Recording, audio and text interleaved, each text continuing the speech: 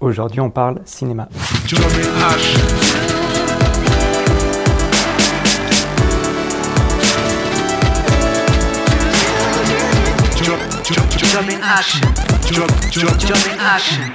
Quand on parle de cinéma, on pense souvent à Hollywood. On s'est pas trompé. Mais dans la région aussi, on sait faire des films.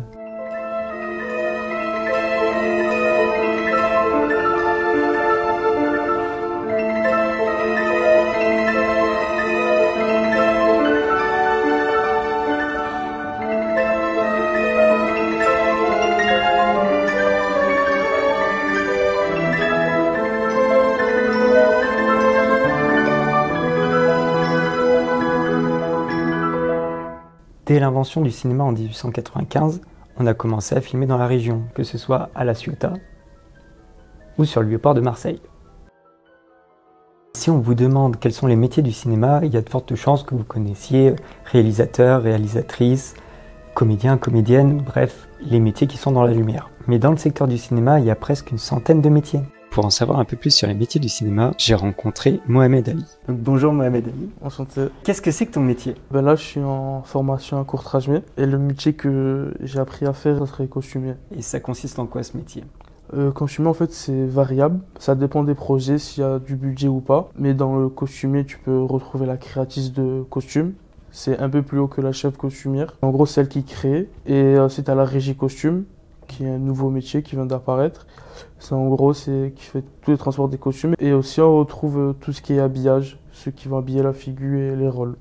Est-ce que tu peux nous expliquer un peu comment ça se passe sur un tournage euh, en tant que costumier du coup? Par exemple, à, quelle heure tu arrives? Ça dépend en gros où la scène va se tourner, à quel moment de la journée ou de la nuit. Quand j'étais au bureau, je faisais du 9h, 18h, 19h. Mais sinon, je peux, quand j'étais à la régie costume ou habillage figure, des fois j'avais, je devais installer à 3-4 heures du matin. Ensuite, euh, j'habillais la figure parce que je souhaitais un peu tout faire. En fait, tu peux pas dépasser 11 heures, 11 heures de travail. Donc, euh, quand tu commences à 3-4 heures, ben, tu, tu finis pas avant 11 heures ou 12 heures de boulot. Ok. Sans heures sup, ouais. Tu reçois un mood board. C'est en gros euh, les thèmes qu'on veut que la figure porte pour cette scène. Il y a le line-up aussi. À la fin de l'habillage de la figure, on les met tous en ligne. Et ça, c'est en gros la validation avant d'envoyer la figure. Quel est un peu ton parcours À la base, au lycée Victor Hugo. Et j'ai fait spécialité cinéma audiovisuel. Ensuite, j'ai enchaîné en fac de droit. Et en même temps que je faisais la fac, mais j'ai postulé pour Courtrajmé à Marseille. Quand j'ai commencé Courtrajmé, eh ben, j'étais en même temps à la fac. Est-ce que tu peux nous dire un peu ce que tu as eu comme expérience ou est-ce que c'était? Mon premier stage, c'était en tant que cadreur pour un défilé de mode. Studio Lozier, qui est une école de mode. Euh, ensuite, j'ai enseigné sur un deuxième stage c'était sur Emiline Paris. Euh, là, j'étais vraiment en tant qu'assistant costume. Au début, j'étais en stage. Ensuite, ils m'ont engagé. Je faisais des heures comme eux. J'ai commencé mes heures d'intermittent et tout. Est-ce qu'il y a des compétences, des règles de savoir-être sur les tournages, d'attitude? Ouais, surtout l'attitude. Parce que savoir les tournages, c'est il y a une bonne ambiance et tout, mais c'est vraiment militaire. Chacun, chacun reste à sa place. Je pense que le cinéma, ouais, c'est magnifique. Il y a du budget, il y a des pipots, de la lumière, mais quand tu fais partie de, l'équipe technique, il faut avoir une attitude, il faut avoir euh, un langage aussi, un langage et un vocabulaire euh, technique du cinéma. Mhm. Et ouais, c'est ça, c'est très important, c'est comment se comporter en tournage. Et même pour tous les autres postes, c'est anticiper rapidement. Et pas dire non, c'est pas possible, je vais essayer de, le faire. Ouais, c'est surtout ça. Le non, c'est pas possible. Non, non, pas. on trouve des solutions, mais il faut pas dire non. Dans la région en Provence, euh, faut le permis, c'est Franchement, c'est vraiment important parce qu'il y a beaucoup de tournages qui se passent, des pubs, beaucoup de pubs aussi, parce qu'on a des décors incroyables. Mhm. Et je pense que si tu as le permis, tu es souvent appelé. C'est vraiment. Le permis, franchement, je souligne ça parce que c'est vraiment très important, très important dans la région. Et du coup, à côté de ça, as... Enfin, tu, tu réalises ou tu as réalisé une série sur la mode? C'est ça, ça va s'appeler Le Vêtement et moi. D'accord. Avec euh, Sharon et Adem, mes collègues de, de courtrage mais et ouais en gros c'était le premier épisode c'était sur une école de mode. En fait où j'étais en stage j'ai trouvé ça dommage que de filmer que le défilé. D'accord. donc euh, j'ai demandé à Marion qui est la directrice de l'école de mode si c'était possible que je vienne avec Sharon de pouvoir filmer les backstage de deux semaines avant à peu près le défilé. De filmer euh, la préparation des tenues au moment du défilé le backstage les installations et tout Merci à toi d'être venu. Merci. C'était top. Yes. Pour ce deuxième échange, j'ai décidé d'inviter Aminata.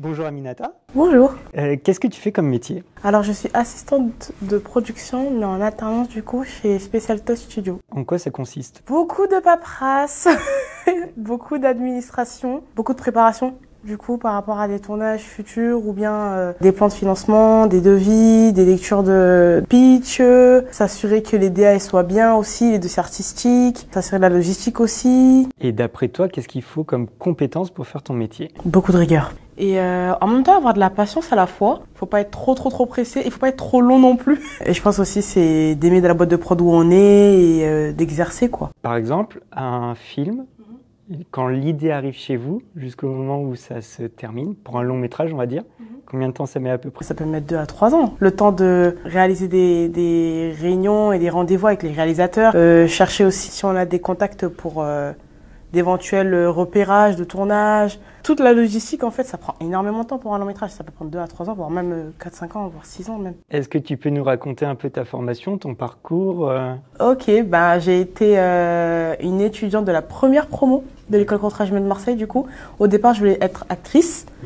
Et euh, finalement, je me suis rendu compte que mon cursus scolaire, du coup, puisque j'ai- je suis euh, titulaire d'un bac gestion administration, mais en fait, euh, elle est super en lien avec la production, parce que c'est beaucoup de gestion et beaucoup d'administration. Et du coup, euh, j'ai dit, bon, why not? Pourquoi pas? On va tester. Le dernier stage que j'avais fait en, en tant qu'assistante de production, c'était chez Click TV, du coup, première fois production.